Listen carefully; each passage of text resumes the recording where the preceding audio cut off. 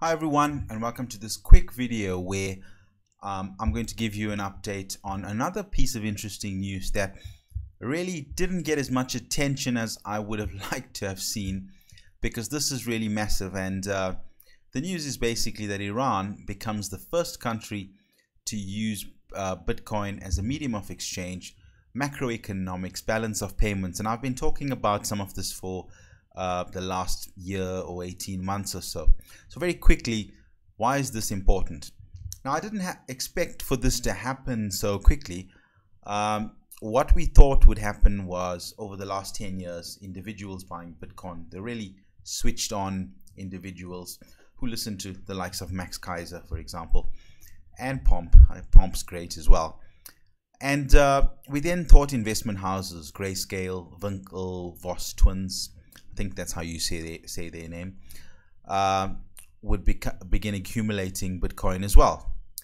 Then the big thing happened in 2020, about a month or two ago, let's say September, October. We had MicroStrategy and Square, companies putting Bitcoin on their balance sheets uh, to really store their wealth. Bitcoin is a store of value. And I said in a video not too long ago, uh, this will continue until governments, countries themselves and central banks use Bitcoin as the world's reserve currency. Bitcoin will be used for balance of payments. I've made lots of tweets about this as well. I don't think everyone understood what I'm trying to say. So why is this significant? Now, I'm not going to talk about Iran as a country. I'm not here for the political aspect. But really, uh, what whatever your view is on Iran, remember, if they're using Bitcoin for trade, goods and services, probably very essential goods and services. Uh, what is trade? It's between two or more parties. So there's somebody on the other side that would be willing to receive Iran's Bitcoin, which they seem to be mining, by the way. They, they switched on, they smart, whatever you think of them. Uh, so the other party would want to accept that Bitcoin in exchange for goods and services i.e., they place uh, some kind of value on it. And there would be more than one. I doubt Iran, even for a country, um, a bit of an outcast country, if I'm allowed to say that, uh, certainly from the Western perspective, I doubt they have just one trade partner. I think there's a few European countries that still trade with them. I follow the automotive industry, for example, and I know that uh, the French car manufacturers, I think it was Peugeot, uh, Iran was a big market and they, they actually assemble cars there last I checked. Uh, that's one place you can sell your Peugeots, right? Don't dislike the video if you're a Peugeot fan. Um, anyway, now what that means is that these partners are happy or will be happy to receive this Bitcoin, even if they don't have the same bullish long-term view, they would have to recognize the current value, which at the time of recording is about 13.8. Um, I think we're very close to 14,000, by the way. Uh, it's the 31st of October 2020. And this is fantastic news. Now, this is important as a first step to Bitcoin becoming the world's reserve currency. It would be uh, quite funny if Iran was the one that kicked it off. And it would be funny and perhaps a little sad if Western nations were sleeping. We saw with the IMF announcement, I made the other video uh, talking about their new Bretton Woods. Uh, they, the IMF views probably, you know, we see what Bitcoin can do, but we won't allow Bitcoin to do it. Um, we we good. We'll create our own digital currency along these lines. Who's to say it will have even have a blockchain? That's uh, the concern at the moment. Uh, so they'll copy Bitcoin with something that they can still be in control of. This would never be acceptable to nations like Iran. And you don't have to be a rogue nation. You could be a neutral nation that um, you just don't want to be dependent on a certain group, a power group. Now, Zeek from China made an announcement today. Uh, I'm just going to type in Z uh, central digital currency, right, and see if it comes up. I didn't uh, manage to save that. But the Chinese would never uh, accept that. And uh, we know that the Chinese are creating their own digital currency. They're airdropping it. Not really finding it. They're airdropping it into certain um, accounts. There we go. This is what I was looking for. So even even if the IMF creates something, there's no reason to believe that China would go along with it, right? So here's this is today, 31st of October.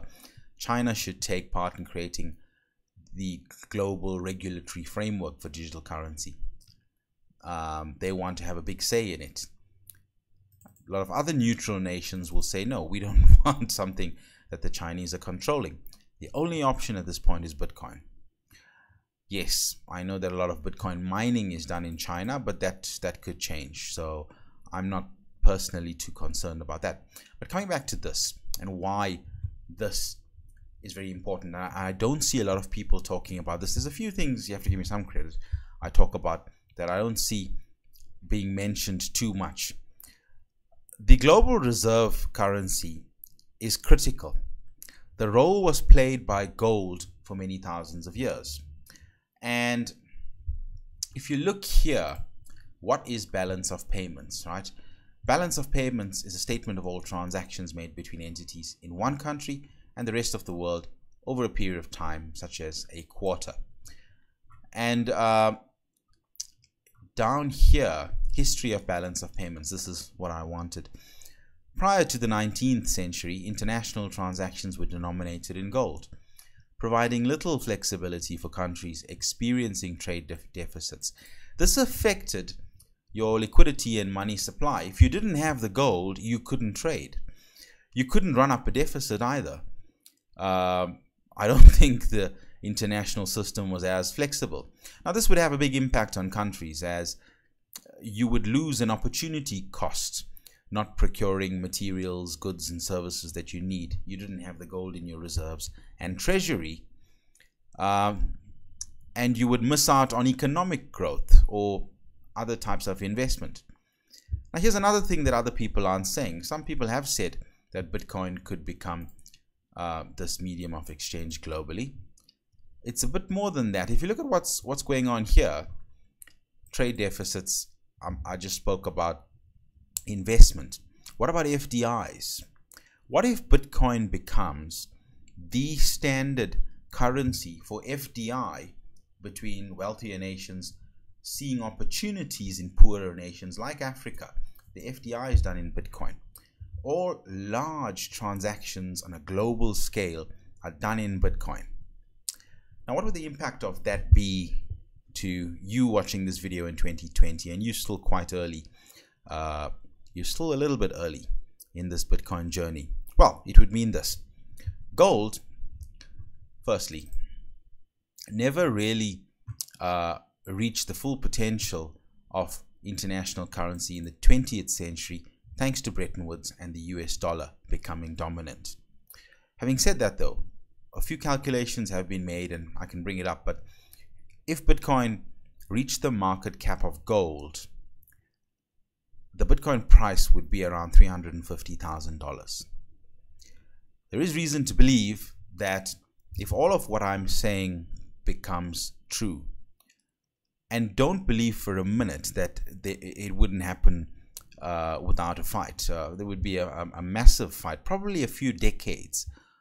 Uh, it could be up to a few decades of them fighting it before it actually happens.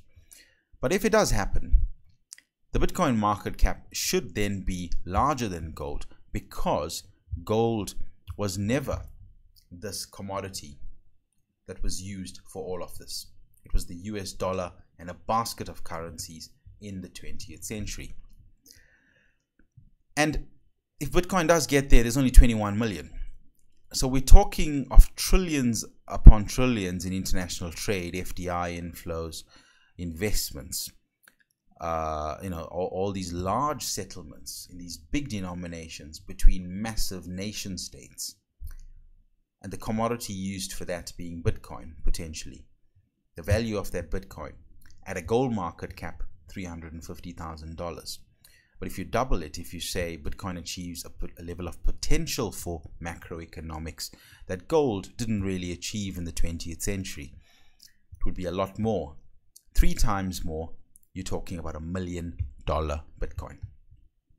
And most of it would be owned by the banks, the central banks, and the governments at that stage. They'll continue fighting it, I, I think, and they'll tell you, don't worry, we're going to airdrop this uh, digital fiat currency digital fiat currency. We're going to airdrop a little bit, little bit into your wallet. Go and sign up and get this app. And while you're distracted, they'll be accumulating all the Bitcoin. Some of you will hang on to a little bit, and it's going to be very, very valuable. And if that picture plays out, a lot of people who've been on this journey over the last 10 years will be very happy, myself included. So I hope this gives you a little bit of perspective. Um, but I, I, am really puzzled as to why this isn't really big in the news. I think it's because of it's Iran, and Iran is some kind of pariah state. Don't don't look at the who, look at the what of this announcement. This is uh, this is really massive. Remember, it takes two to tango. There are there's somebody or there are a group of nations on the other side if this announcement went up saying, yeah, we're happy to trade with you. We're going to provide you with food, metals, not oil, but they're probably buying the oil uh, from Iran. But we're going to provide these goods and services for you. And yeah, you can pay us in Bitcoin, which you mind you got for almost nothing. Uh, I wish other nations were smart. So I'll end there. I don't want to make the video too long. I hope you enjoyed this. Uh, this is big. This is massive and I think 2021 is going to be a massive year for Bitcoin. I think there are sufficient catalysts now to break or accelerate that four year cycle. If you don't know what the four year cycle is, Google it. There are other YouTubers that do a better job of me uh, than me. Uh, Bob Lucas, I think he, he started the four year cycle. But um, here's a question. Let me know what you think in the comments. Do we have enough catalysts in 2020, the pandemic, what the IMF is doing, nations not friendly to the West saying, "Oh yeah, we don't want your your your new dollar, digital dollar. This is what we're gonna do." Uh, and of course, institutions, MicroStrategy, Square, saying, "Well, actually, Bitcoin is the best bet now to park wealth."